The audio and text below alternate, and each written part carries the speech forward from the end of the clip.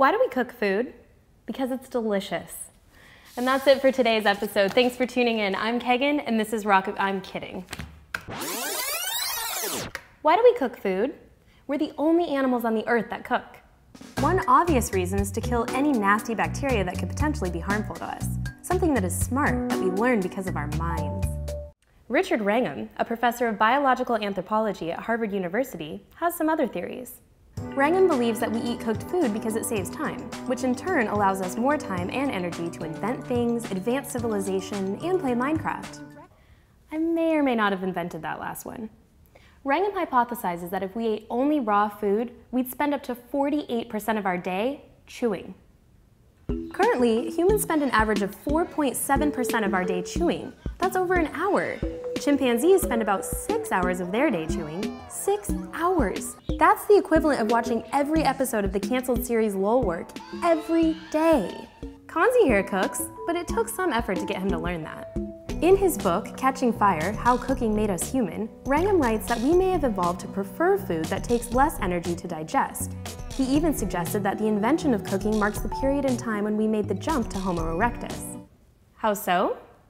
He notes cooking began just before a period of significant decrease in tooth size, as cooking allows for less need for teeth, a drop in rib cage size, which comes with a smaller stomach, in other words, less of a need to digest raws, and during a time when the Homo erectus traveled further than before, which requires more energy and more calories. And what can we do to food to get more energy and calories from it? Oh, it's on the tip of my tongue. Cook it! So there are some benefits to cooking, but what is it about cooking that makes it easier to eat?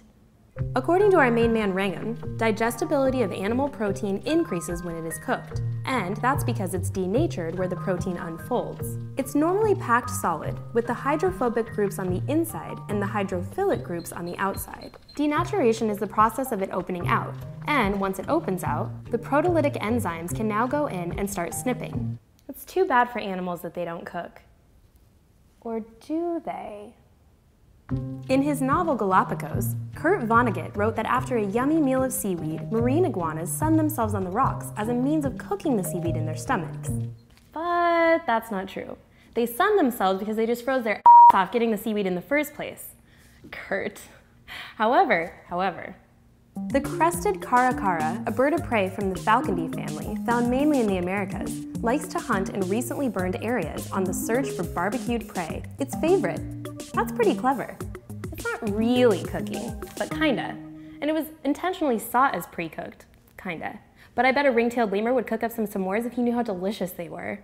From New York City, I'm Kegan, I'm kinda hungry, and this is Rocketboom.